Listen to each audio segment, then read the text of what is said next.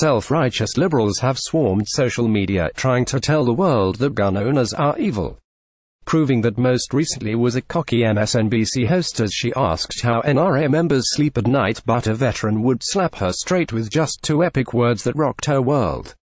The left has most recently hailed a new hero among the resistance efforts against President Donald Trump. According to the New York Times, that would be none other than Joy Reid. Of course, anyone dumb enough to watch her show and digest the misinformation she puts out there really isn't worth having a conversation with. AD Adspire of Content Reid's main goal is short and simple, division. Just like former President Barack Obama used to do, Reid has taken the baton. These days, she calls just about everyone that doesn't agree with her a racist although she doesn't mind giving preferential treatment to certain races while demanding double standards of others.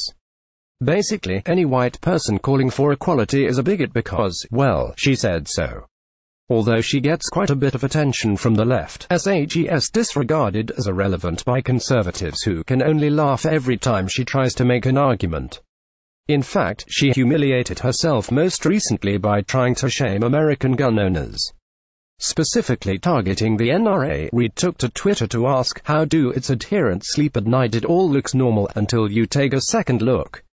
80 pics Brado fo of content find out more greater than 56,787 saying that constitutionally protected Americans who want to make sure that the Second Amendment rights aren't infringed upon by Democrats are soaked in blood. It wasn't long before the usual suspects arrived back her up. Just like that, rich celebrities, who were disconnected from the average American, stepped in to also tell people that they knew best. Adspire of content doing this before bed could help you regrow your hair. Watch this regrow hair XY doctors in the know no longer prescribe diabetes medication. Heating tips X the unusual link between coconut oil and Alzheimer's memory repair X. Unfortunately for them, they were about to get utterly destroyed.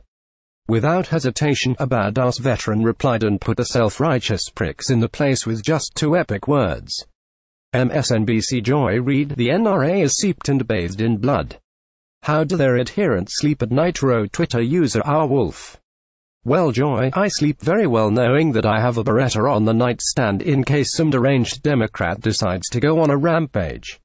After all, HES got a point make sure you hit see more to get the full picture. The fact that anyone wants to blame the NRA for these kinds of things really just goes to show their ignorance on the matter. Does anyone want anyone to know? Are guns only used to innocent people? Absolutely not. In fact, guns are used more often by innocent people who are defending themselves. Currently, there are about 2 or 2.5 million instances each year where guns are used to defend oneself. On the other hand, guns are used to less than 20,000 people every year here in America. Responsible gun owners don't want firearms to be used to people, but they also have the right to defend themselves if necessary, and they know there is no law that will keep guns out of the hands of criminals. So, they want to be able to protect themselves with equal force, which leaves us asking why do Democrats think that? The lives of gun owners are less valuable than those of others. People are dying every day in Chicago, where guns are just about banned in the city, yet people are getting their hands on them and using them for sinister purposes every day.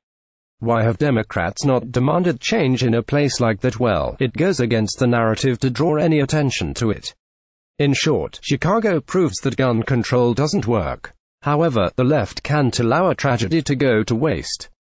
As a result, despicable Democrats have taken to using dead children as props as they parade their corpses around America for the sake of partisanship. This is disgusting and disturbing on every level, and it's time we hold our leaders responsible for their actions. It all looks normal until you take a second look. 80 pics Brado fo x Adspire of content find out more greater than 29,349 Americans have rights, and the Second Amendment is therefore a reason. Sadly, it's because of the left that we need the NRA to ensure that those rights are protected from the tyranny they're now proposing. Our lives are just as valuable as everyone else's in this country, and the fact that they're actually arguing against that makes them the monsters, not the other way around.